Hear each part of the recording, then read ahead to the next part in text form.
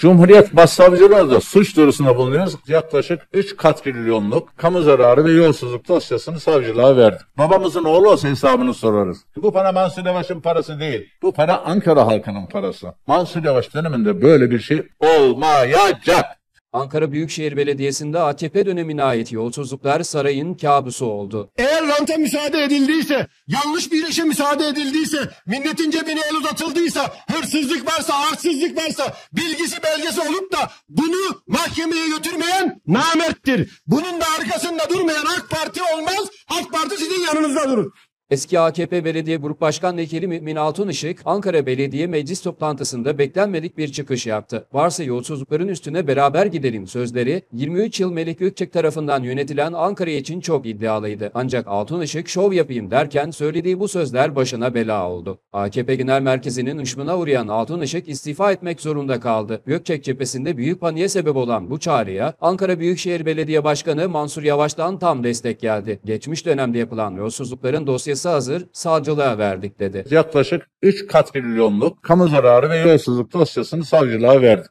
Yavaş, müfettişlerin tespit ettiği yolsuzluklarla ilgili 40 ayrı suç duyurusunda bulunduk dedi. Ardından AKP'lilere sözünüzü tutun, yolsuzlukların üstüne hadi beraber gidelim çağrısı yaptı. Ben AK Parti grubunu Cumhuriyet Savcılığına verdiğimiz bütün dosyalarda müdahil talebiyle hesabını sormak için başvurmalarını bekliyorum. 7 Aralık 2020 tarihinde yaptığı bu açıklamanın üzerinden 7 ay geçti. Ancak meclis kürsüsünden bizde yolsuzluk olmaz diye haykıran AKP'lilerden ses çıkmadı. Dosyadaki yolsuzlukların güncel değeri 3 katrilyondan fazla. Yolsuzluk ihbarına soruşturma açması gereken savcılardan da çıt yok. Muhalif belediyelerde etten sütten her şeye soruşturma açan bağımsız ve tarafsız savcılarımız nedense Ankara'daki yolsuzluk iddialarını soruşturmada çok istekli değiller. Savcılar bırakın soruşturma açmayı, belediye müfettişlerinin hazırladığı dosyaları kabul etmek dahi istememişler. Mansur Yavaş hazırlanan yolsuzluk dosyalarına karşı yargının direnç gösterdiğini canlı yayında açıkladı. Zorlanıyoruz çünkü bazen bu dilekçeleri verirken zor veriyoruz açıkçası. Yani bize vermeyin diyorlar aşağı müracaattan veriyoruz filan. Şimdi top yargıda. Savcıların nasıl bir soruşturma yürüteceği merak konusu. Hukukun gereğini yapıp iddiaların üzerine mi gidecekler yoksa AKP ile karşı karşıya gelmemek için topu taca mı atacaklar? Bu sorunun cevabını sadece Ankaralılar değil tüm Türkiye merakla bekliyor. Yargıdaki AKP kadrolaşmasına atıfta bulunan bazıları soruşturmalardan ümitsiz. Kamuoyu ilgisinin büyüklüğüne ve iddiaların belgili olmasına dikkat çeken bazıları ise bu dosyaların üstünü kapatmak kolay değil görüşünde. Peki Gökçek döneminde yapıldığı belirtilen yolsuzluklar arasında neler mi var? Başkan Yavaş tespit edilen yolsuzlukları 3 saate yakın anlatarak ancak bitirebildi. İşte Ankara'da tespit edilen o yolsuzluk dosyalarının bazıları. Hafiyat yolsuzluğu. AKP döneminde Ankara'daki en büyük yolsuzluklardan biri hafiyat işlerinde oldu. 2014 yılında hafiyat işleri aylık 30 bin liraya Anfa'ya verilmiş. Anfa 30 bin liraya alıp bir ay sonra Osmanlı Spor'a aylık 100 bin liraya devretmiş. Osmanlı Spor'da bu işi özel şirkete 640 bin liraya kiralamış. Gökçe'nin saadet zincirine benzeyen sistemi Mansur Yavaş döneminde ortaya çıktı. Belediyeye adeta hortum bağlayan bu şirketin adı birçok usulsüzlüğe karışınca sözleşme feshedildi. Yetki Anfa'dan alınıp anket Ayşe'ye verilince vurgunun büyüklüğü ortaya çıktı. Çünkü 30 bin liraya yandaş firmaya verilen işten belediye aylık 1,5 milyon lira kazanmaya başladı. Yani iş düşük bedelle peşkeş çekildiği için belediye 50 kat zarar ettirilmiş. Hafriyat işinden 533 milyon 402 bin lira belediye zarara uğratılmış. Savcılıkta.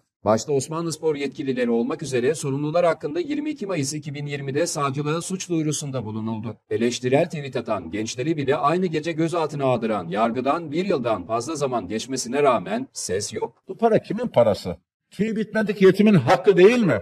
Süs bitkileri vurgunu. Gökçek döneminde yaşanan başka bir vurgunsa süs bitkisi ihalesi. İhalede iki vurgunun birden yapıldığı tespit edildi. 28 Aralık 2015 tarihiyle ihale ile piyasada tanesi 1,5 liraya temin edilebilen bitkilerin belediyenin 15 liradan satın aldığı ortaya çıkmıştı. Yani belediye firmaya 10 kat fazla para ödemiş. Sarkık Himalaya bitkisi içinse tanesi bugünkü parayla yaklaşık 70 bin lira ödenmiş. Sadece fiyatta değil bitki sayısında da yolsuzluk yapıldığı ortaya çıktı. İhalede yazan bitki sayısıyla teslim alınan sayı arasında büyük fark vardı. Bitkilerin bir kısmı teslim alınmamasına rağmen alındı diye rapor tutulmuş ve firmaya tam para ödenmiş. Mesela bir tane çevre koruma süs bitkileri ihalesi yapılmış. Belediye 576 milyon lira o tarihi itibarla zarar uğratılmış savcılıktan. Teleferikte büyük vurgun. Diğer bir yolsuzluk dosyası ise Anka Park'ın yanında yapımına başlanan teleferik vurgunu. Teleferiğin ihalesini alan firma resmen belediyeyi göz göre göre hortumlamış. İhale evrakına sonradan eklenen ödeme planıyla şirkete yaptığı işin çok daha üstünde 43 milyon dolar ödeme yapılmıştır. Üstelik firma bedelin %90'ını almasına rağmen işi yarım bırakmış. Anka Park Şentepe arasında hayali teleferin hesabını hep beraber soracağız. Direkler var, teleferik yok. Halkın havaya uçan milyonları var. Hem usulsüz ödeme artışları yapılmış hem de firmaya yaklaşık 5 yıl haksız süre uzatımı tanınmış. İhale öncesi firmaya proje bilgileri sızdırılmış. Bununla da yetinilmemiş, firmaya yasa dışı olarak fazladan para ödenmiş. Firma işi yarım bırakmasına rağmen AKP'li başkanlar ihale bedelinin %90'ını firmaya ödemiş. Bu bağlı firmanın adını merak ettiniz mi? Gazeteci Murat Ağrel'in verdiği bilgilere göre firmanın eski adı Azteknik İnşaat. İsim değiştirilen firmanın yeni adı Walter Asansör. Peki bu firmanın başında kim var? Tabii ki bir AKP'li. Murat Acaba Yönetim Kurulu Başkanı, AKP Ankara İl Başkanlığı'nın Yönetim Kurulu üyesi, Hüsiyat ve Önder İmam Hatip Lider Derneği üyesi. Yani bu tür ihaleleri torpille almak için gerekli bütün üyeliklere sahip bir isim. Konuyla ilgili suç duyurusunda bulunduklarını belirten Mansur Yavaş, AKP'lilere de bir çağrı yaptı. Siz bizimle beraber bu teleferikle ilgili işi daha yapmadan paranın %90'ına yakını tahsil eden şahıstan bunun hesabını soracak mısınız? Yoksa gözünüzü mü kapayacaksınız? Belbeton AŞ'nin özelleştirilmesi, hava aracı alım ve satımında, helikopter kiralamasında da belediyeyi milyonlarca lira zarara uğratan yolsuzluk ve usulsüzlükler tespit edildi. Ve Ankara için turbun büyüğü Anka Park projesi. Ankara'da yolsuzluğun zirve yaptığı proje. Anka Park sadece Ankara'ya değil Türkiye'ye atılan en büyük kazıktır. Bu asrın yolsuzluğuna kim sahip çıkıyor, kim çarpıtıyor, kim üç maymunu oynuyorsa o vebalin ortağıdır. Bunun hesabı sorulmazdır Ankaralı adına. Mansur Yavaş'ın böyle tanımladığı Gökçe'nin Dinozor Parkı için hazırlanan yolsuzluk dosyası tamamlanmak üzere 750 milyon dolar harcanan parkı işleten firma yargı desteğini arkasına aldığı için dokunulamıyor. Belediyeye devredilmediği için çürümeye terk edilen parkın sadece dış görünüşünde 111 milyonluk hasar olduğu bilirkişi raporuna yansımıştı. Belediye müfettişleri suç duyurusunda bulunduğu zaman savcıların tepkisini hep beraber göreceğiz. Bu 750 milyon doların hesabını soracağız. Soruşturma son aşamaya geldi. Bunu da mahkemelere vereceğiz. Bu tür haberler için lütfen Siyasetin Sesi kanalına abone olmanızı ve video hakkında yorum yazmanızı istiyoruz. Sizin desteğinize ihtiyacımız var.